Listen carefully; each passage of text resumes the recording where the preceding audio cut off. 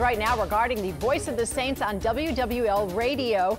Longtime Saint Zach Strief. Ricardo LeCompte is joining us with all the details on what's happening. Ricardo? Yeah, Katie and Karen. Zach Strief is leaving his role as the voice of the Saints to rejoin the Saints in a coaching role. Strief will join the Black and Gold as their new assistant offensive line coach. Now remember, Strief replaced the legendary Jim Henderson back in 2018. He served three years as the Saints play-by-play man on radio alongside Deuce McAllister.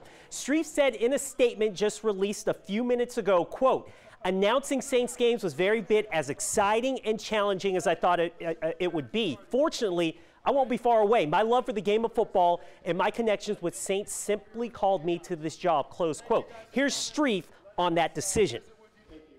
And I know that spending Sundays with, with all of you on the airwaves is something that I'm going to greatly miss. But uh, I think my calling is back with the team, back with the players, uh, and I'm looking forward to, to trying to become a small part of our next step to win another world championship for the city of New Orleans and for Saints fans across the entire country.